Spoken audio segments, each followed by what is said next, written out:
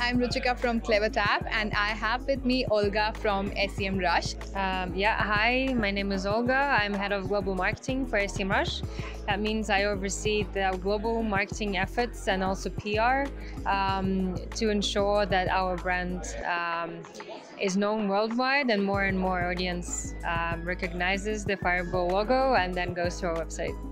Great. So, how exactly did this journey start for you, and how it's been so far? Um, so that's not my first job. I started, um, well, I would say 11 years ago, and then I'm with the SEMrush for six, so it's still a big chunk of my career. And um, I, when I was uh, thinking of the first job, I was thinking that um, what do I want to do daily?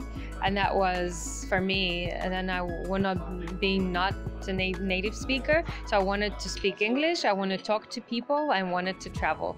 So industry didn't matter, and um, basically anything apart from those three didn't matter.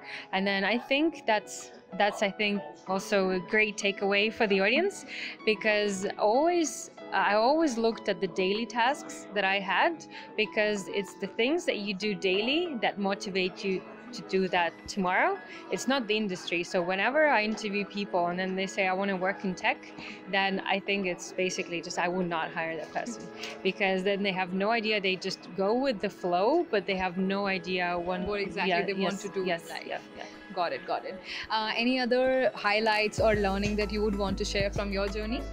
Um, so when um, when I was 21, that's that was when I came up with the idea of recording a movie for my friend and show. I showed the movie uh, within a month in a in cinema, and that was a like a hardcore project that I didn't do for work. But what I learned from it, it was that um, I I can come up with a crazy creative ideas.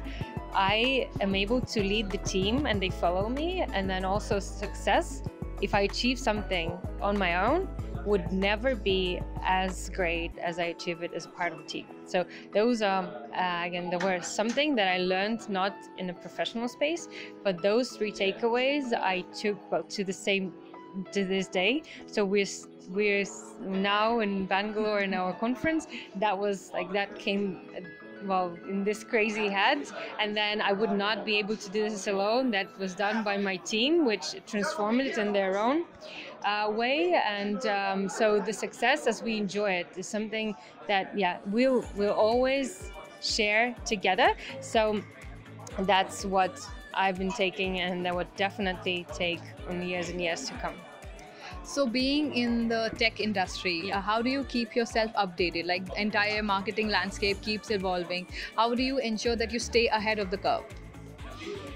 Um, so marketing to marketing professional is hard because well, be- being um, the leader of the market.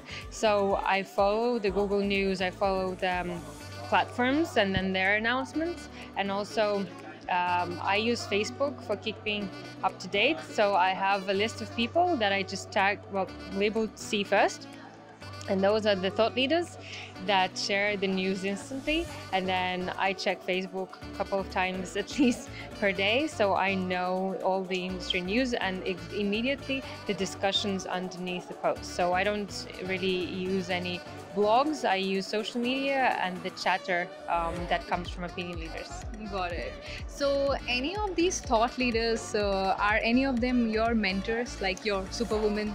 um, Mel Robbins. Um, so that's the author, and then she um, has books Five Second Rule and Take Control of Your Life, where she just she's just a mentor, and that it's more of getting things done, or it's it's yeah, it's personal growth and leadership, and also.